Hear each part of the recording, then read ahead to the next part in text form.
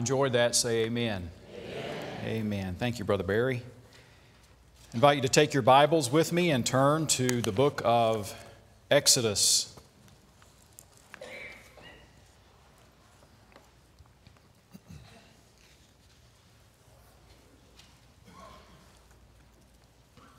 Exodus chapter 15.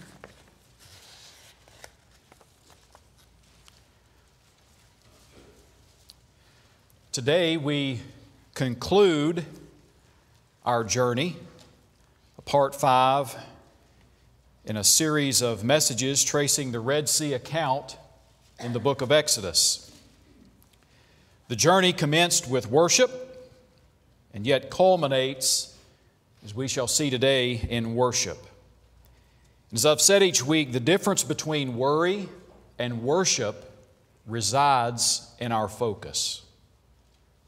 When we focus upon our situations, when we focus upon ourselves, we grow anxious, we worry. But when we get a new perspective and focus upon God, we have a tendency to worship.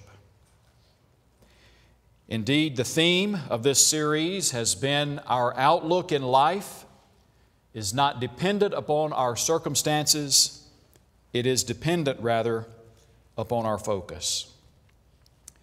A.W. Tozer once wrote If we would bring back spiritual power to our lives, we must begin to think of God more nearly as He is.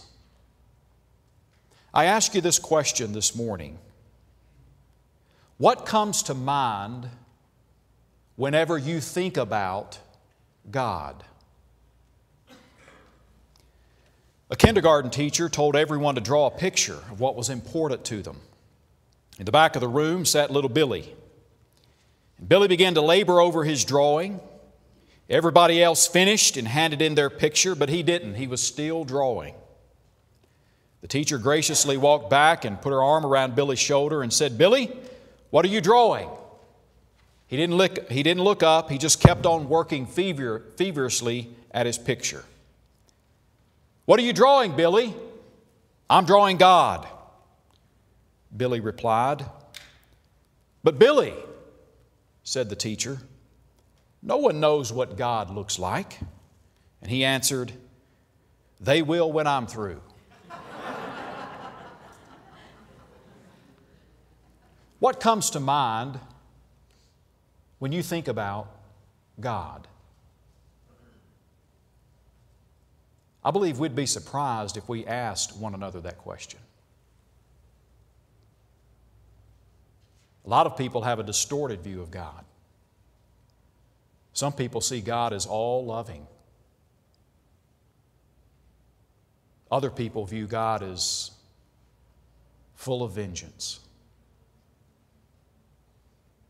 Truth is, He's both. And I hope that your image of God, your picture of God, has been shaped somewhat through this series of messages. Because we've learned, first, that God is all wise. Consequently, we can trust Him. He is trustworthy. We can trust Him. Second, we noted that God is present. God is present. He always goes before us and with us. He guides us and He guards us. Third, we learned that God is sovereign. That is, He is in complete control. He's never caught off guard, He's never taken by surprise. Fourth, we learned that God is powerful. God fights for and God delivers His children. Consequently, we have no need to panic amid life struggles. Instead, we must maintain a proper perspective and keep our focus on our omnipotent God. Today's text is Exodus 15, verses 1 through 18, and it captures in song the heartfelt praise of the children of Israel as they rejoiced in God's goodness.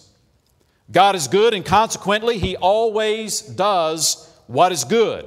He always does what is best for you and me.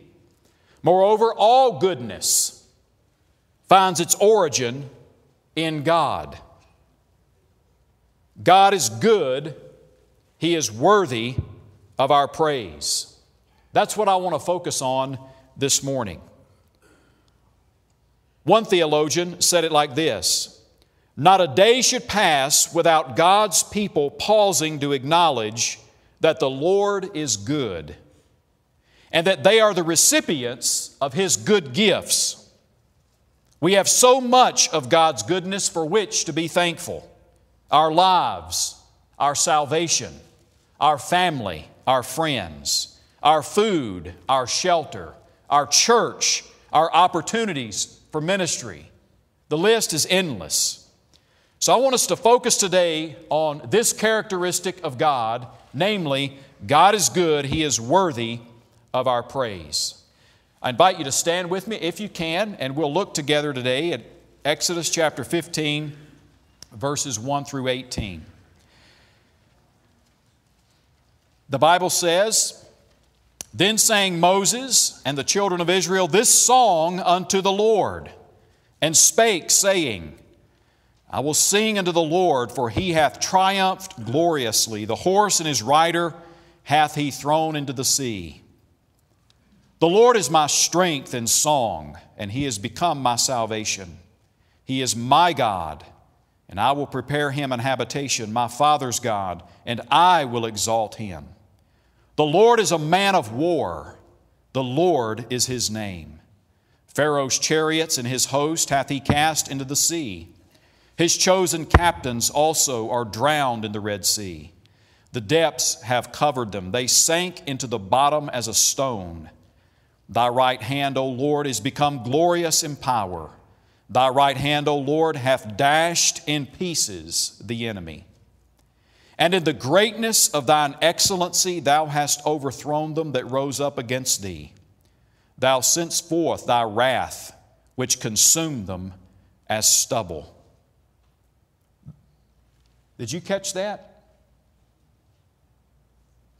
God sent forth his wrath. If I were to ask you this morning, are you saved? Someone might respond, saved from what?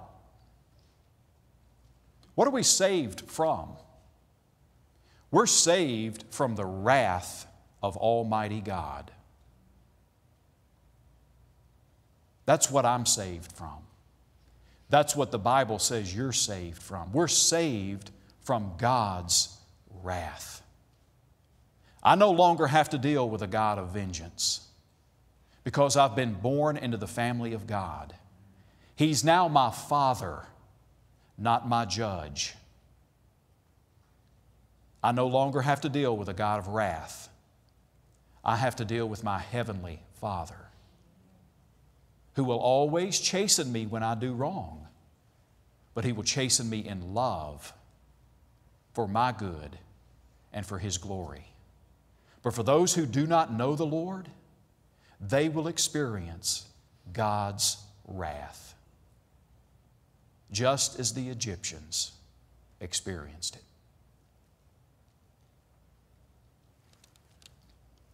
Verse 8 And with the blast of thy nostrils the waters were gathered together, the flood stood upright as an heap, and the depths were congealed in the heart of the sea. The enemy said, I will pursue, I will overtake, I will divide the spoil, my lust shall be satisfied upon them.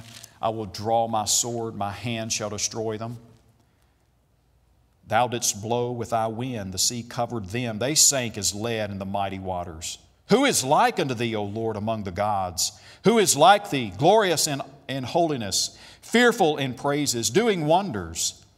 Thou stretched out thy right hand, the earth swallowed them.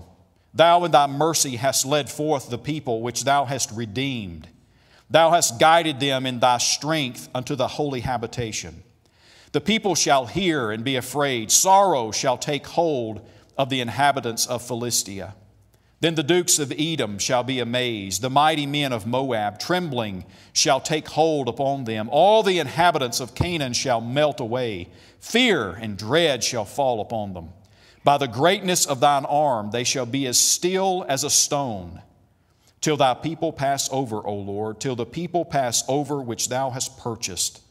Thou shalt bring them in and plant them in the mountain of thine inheritance, in the place, O Lord, which thou hast made for thee to dwell in, in the sanctuary, O Lord, which thy hands have established. The Lord shall reign forever and ever.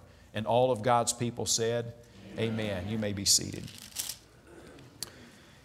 God is good, He is worthy of our praise.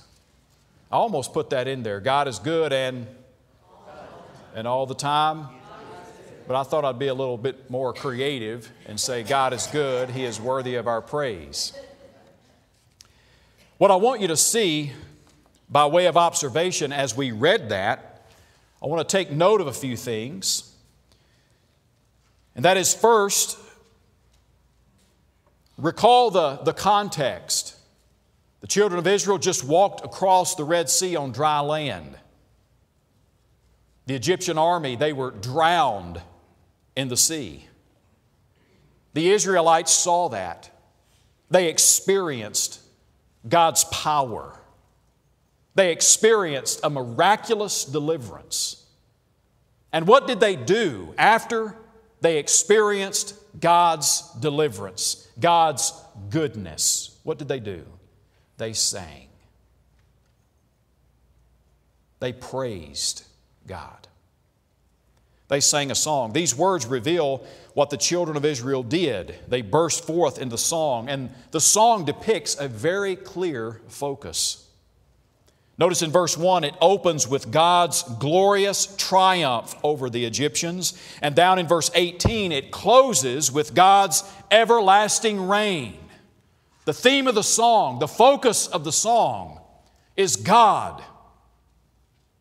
God's glorious. God is triumphant. In fact, the word Lord, the Hebrew term Yahweh or Jehovah, which we've seen in previous messages, this word appears 10 times in these 18 verses. In addition, in verse 2, the word Yah, instead of Yahweh, the word Yah is found in verse 2. It likewise is translated in all caps, Lord. And also down in verse 17, the word Lord is in upper and lower caps, which depicts the Hebrew term Adonai. So, in essence, the word Lord is referenced 12 times in these 18 verses. Wherein is the focus? The focus of this song is on God. The focus of this song was on their good God. You see, worry was displaced by worship. And whenever you are worried, whenever you are anxious, whenever you are afraid, I invite you to praise our good God. Notice, second, the word horse and rider. Not just horse, not just rider, but horse and rider. In other words, the Lord's victory over the Egyptians included both the instrument of war, the horse, and the agent of war, the rider. In other words, God's victory, God's conquest was complete. His triumph was total. Notice that he is a man of war. I've read this.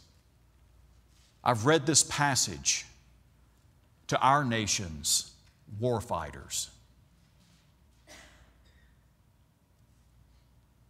I've read this passage to our special operations forces.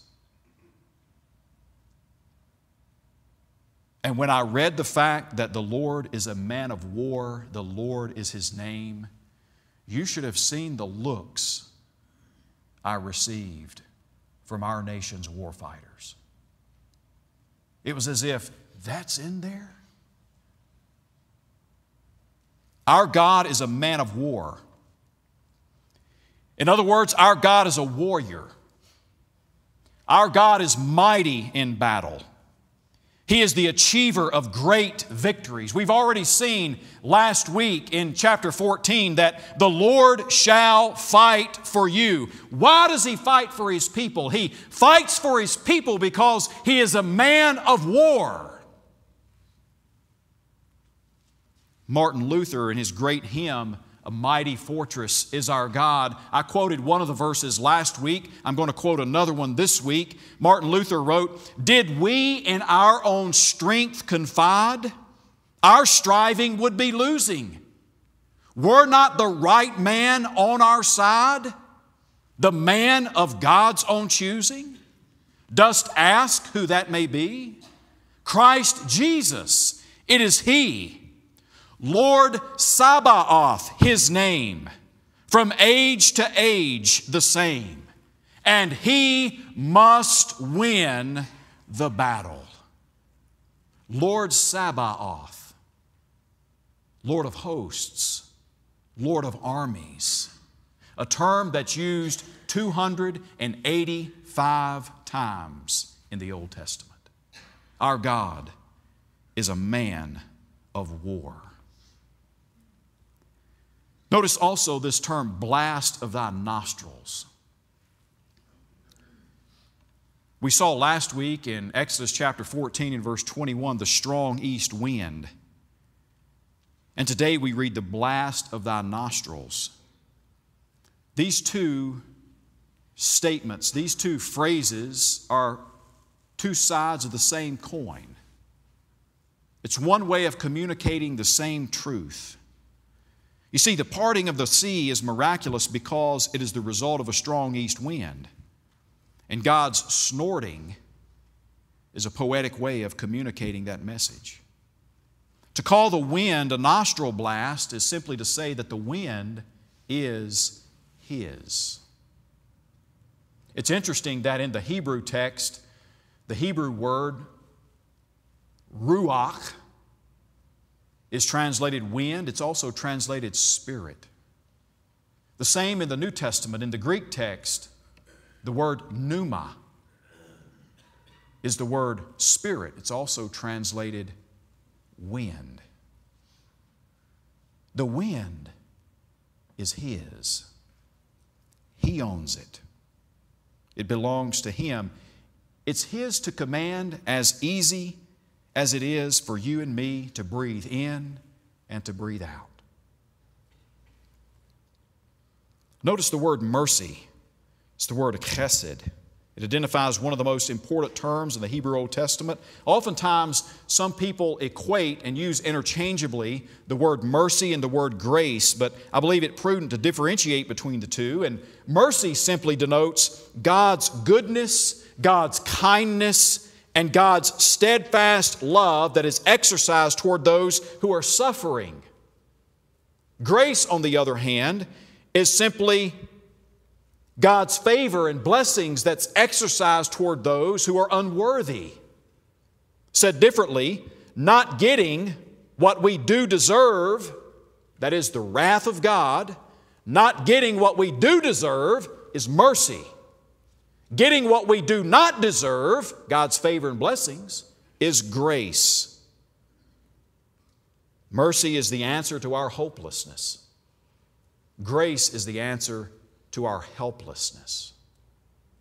And as we have freely received God's mercy and grace, we are to freely give away God's mercy and grace to other people. To the person at the checkout line, to the person who pulls out in front of us, to the person who treats us bad at work. Freely we have been given, freely we to extend His mercy, His grace. Another key term here is the word redeemed. It's the Hebrew term ga'el, which means to deliver or to buy back.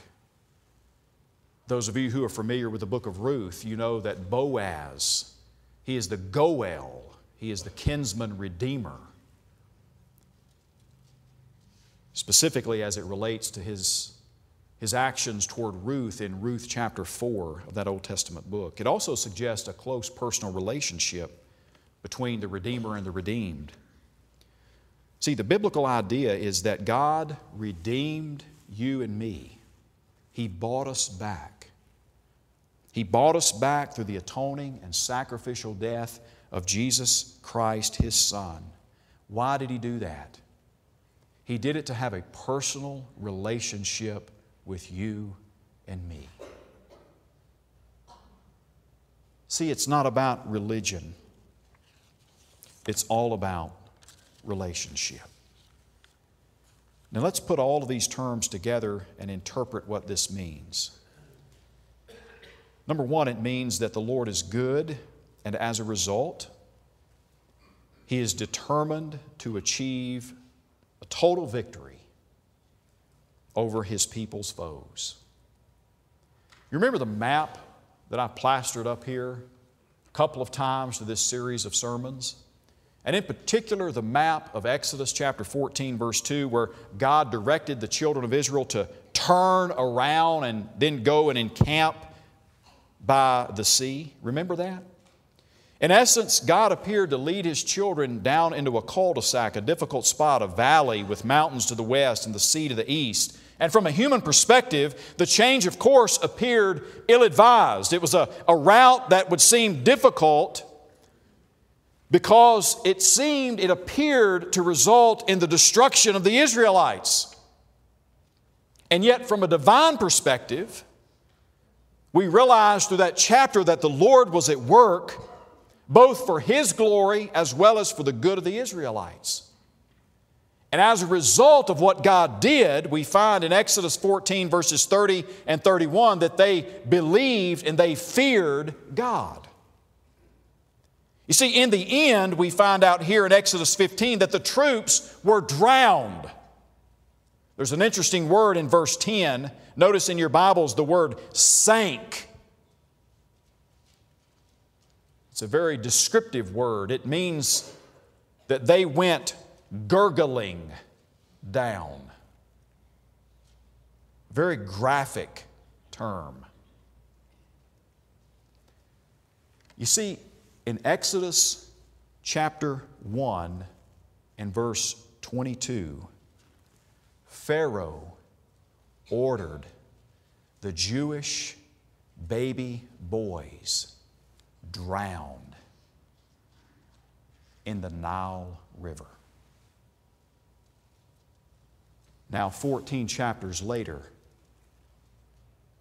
God sent the Egyptian army gurgling down, drowned in the Red Sea. What goes around comes around. And God is determined to achieve total victory for His people. The lesson is clear. It is the will of God that gives meaning and purpose to your life and my life. It's not about you, it's not about me. It's the will of God that gives meaning and purpose to life. There's always a bigger picture that we can't see. But rest assured, each battle belongs to the Lord and the ultimate outcome of the war is never in doubt. The Lord will achieve a total victory over his people's foes. Second, the Lord is good. He is determined to bring his redeemed people into his holy habitation. God brought the children of Israel out of Egypt the land of bondage, so that he could bring them into Canaan, the land of blessing. God brought the children of Israel to the Red Sea so that he could bring them through the Red Sea on dry ground. Likewise, God has redeemed us through the atoning death of the Lord Jesus Christ. God has taken us out. He has bought us. He has redeemed us. He's taken us out of the slave market of sin, and He has delivered us into an eternal relationship with His dear Son and our Savior, the Lord Jesus Christ. Redeemed, how I love to proclaim it. Redeemed by the blood of the Lamb. Redeemed through His infinite mercy. His child, and forever I am. What a beautiful hymn. The Lord is determined to bring His redeemed people into His holy habitation. What does all of this mean? Let me make some applications that you and I can put into practice. Number one, the Lord designs to give us strength. I want to focus your attention here. I want to pinpoint your attention on one verse. Look with me at verse 2 of chapter 15. It says, The Lord is my strength and song, and He has become my salvation. By way of application, I would say this the Lord designs to give us strength. Moses, in this song, he, he wrote these words The Lord is my strength.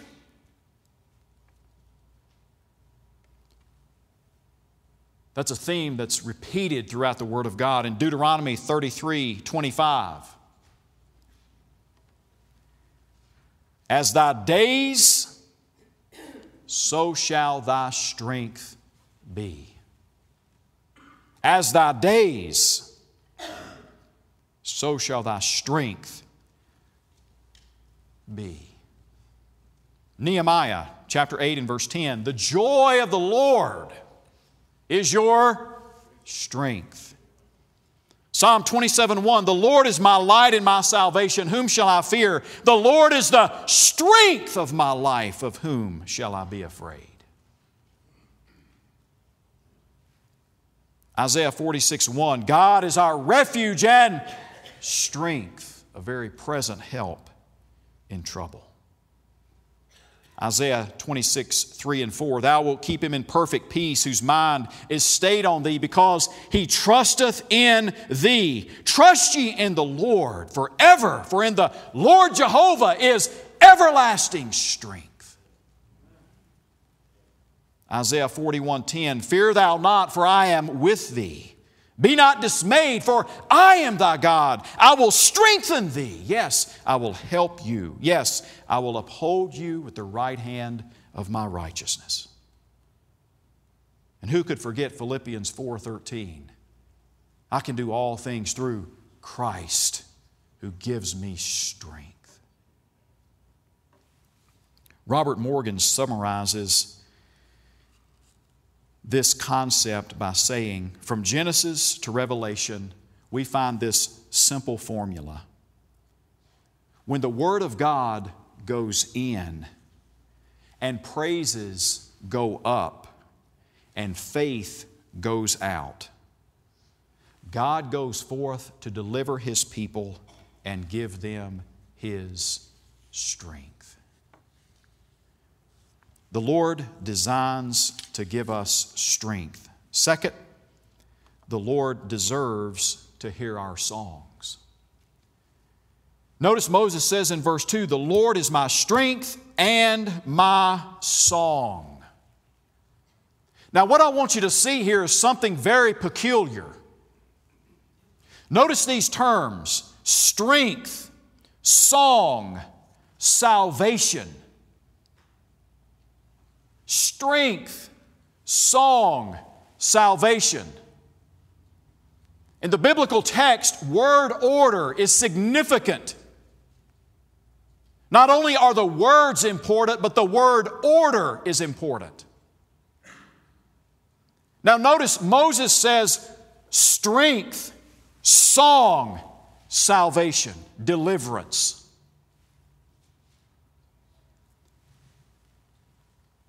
But what happened was the reverse. The Israelites, they broke out in song after the deliverance, not before the deliverance. They were not in a state of praise prior to crossing the Red Sea. They were in a state of panic. And it was only after God delivered them, it was only after God saved them that they burst forth into song. But Moses, in reflecting on that, through the inspiration of the Holy Spirit, he said, God is my strength, God is my song, God is my salvation. And what I take from that is this number one, the Lord is to be our song.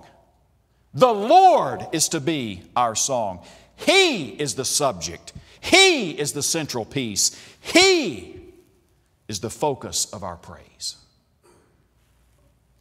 Paul writes, Let the word of Christ dwell in you richly in all wisdom, teaching and admonishing one another in psalms and hymns and spiritual songs, singing with grace in your hearts to the Lord. The chief characteristic of biblical songs is the lack of focus on one's self. The songs of Scripture focus on God, who He is, and what He's done for His people. You see, all week long, all week long, our natural tendency, our depraved nature forces us to think about and focus on ourselves. And then we come together as a community of faith and we sing as a community of faith. And our focus changes. And we're taken away from what we have thought. And we're taken to what we should be thinking, what we should be feeling, what we should be experiencing when our focus is right, when our focus is on God. That's why it's so important to gather together as a community of faith. Because we're reminded week in and week out that the focus is not on me, it's on you. I got an amen.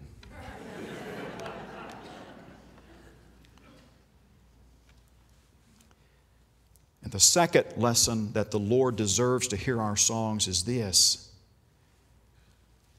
even before deliverance occurs, we should make it a habit to praise our God.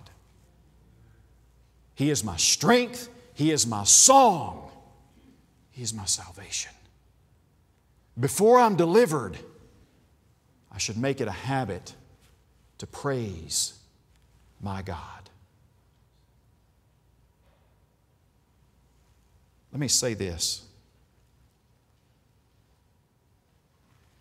Before we get a pastor, we need to make it a habit to praise our God because He is going to provide us a pastor. May it be said of Spring Valley Baptist Church,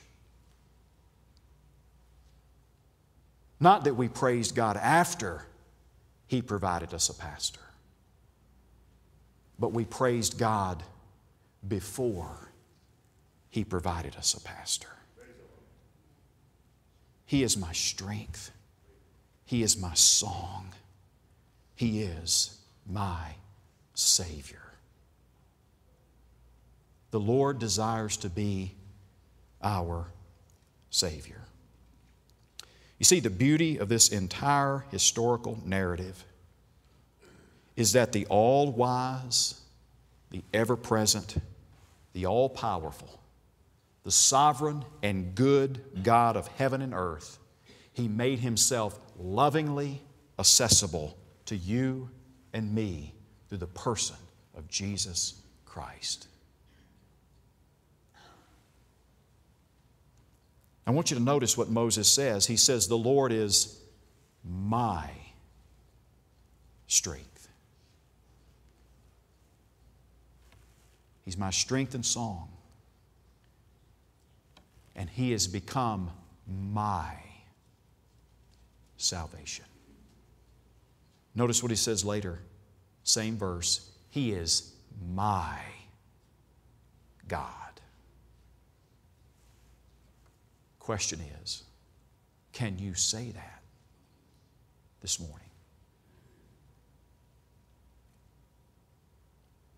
Is He your Savior? Is He your sovereign? Is He your God? See, it doesn't matter if He's mine. It doesn't matter if He's my mom and dad's.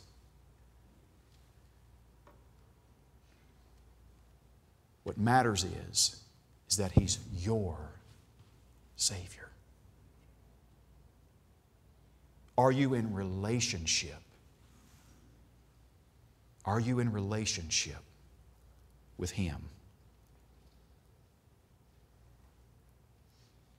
When we're in relationship, we will move from worry to worship because our focus will not be on our circumstances, it will be on our Savior.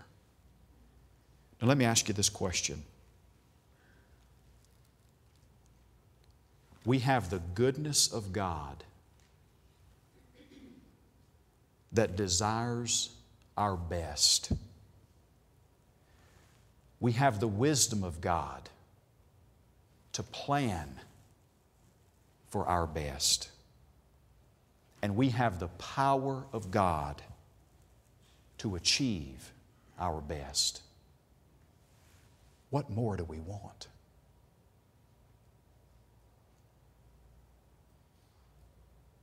We lack nothing.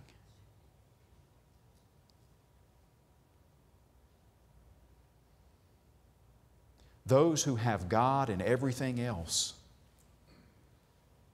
do not have any more than the man or the woman who just has God only.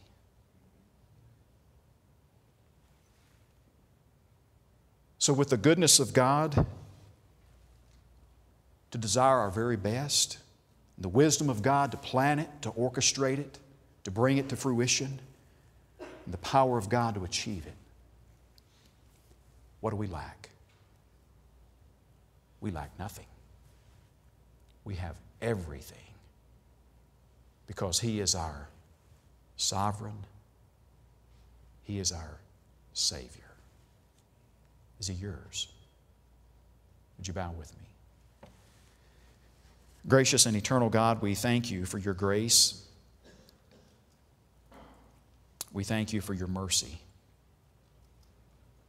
We thank you that we've been redeemed by the blood of the Lamb. Forgive us when we take our eyes off of you and place them on our situations and circumstances.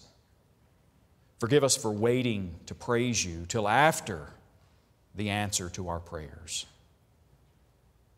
May we praise you early on and often, trusting you to deliver in your own unique way and in your own perfect time. Father, this day I commit to you these who have given their undivided attention to listen. I pray that today, if someone does not know you as their Savior, that today they would trust you. And Father, for those who are here today that are looking for a church home and desire for this place to be their church home, I pray that you would lead them here and that they would make that decision today. Perhaps they have trusted you, they're in relationship with you, but they've yet to be baptized and Maybe you've been speaking to them about that. God, whatever the needs are this day, I pray that people would respond to you in obedience and trust and faith. And I pray that you, in all things, would receive the glory and the praise. For it's in your matchless name I pray. Amen. You stand with us as we sing. This is my desire to honor you, Lord, with all my heart I worship you.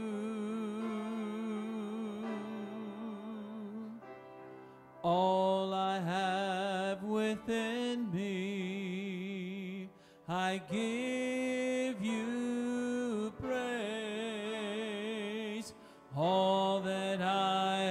adore is in you.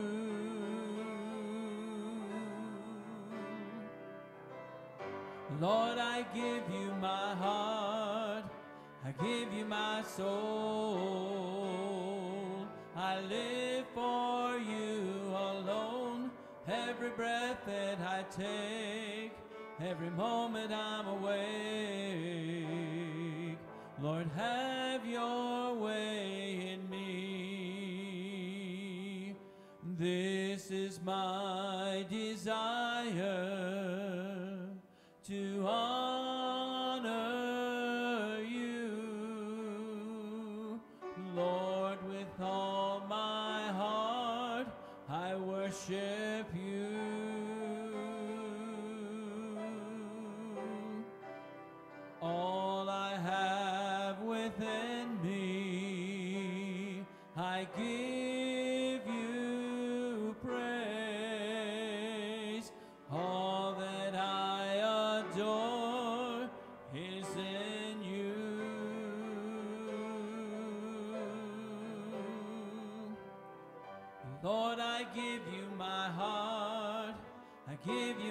soul.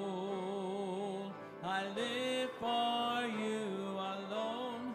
Every breath that I take, every moment I'm awake. Lord, have your way in me.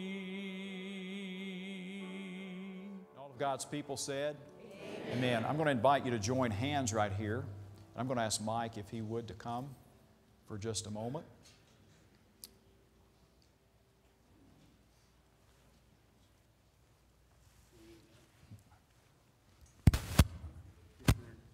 We'll do the introductions first here. This is Richard and Nina. They uh, come design membership of the church here, born again Christians, baptized, and they're from New Jersey. If there's anybody here from New Jersey, come on down here and meet them. Welcome them. I'll get the last name later. All right, we can drop our hands and clap one time, all right?